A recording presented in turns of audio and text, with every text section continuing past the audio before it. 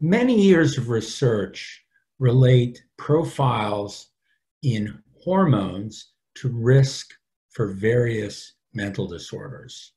And one of the particularly strong areas of research finds a link between low testosterone and the risk for major depressive disorder. In an important new randomized controlled trial, Dichtel and colleagues examined the degree to which testosterone administration might actually be useful in the treatment of major depression.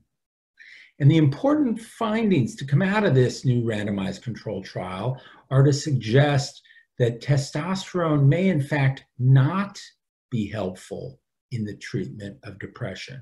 And this demonstrates why it's important to move beyond observational studies to experiments that examine the efficacy of a treatment.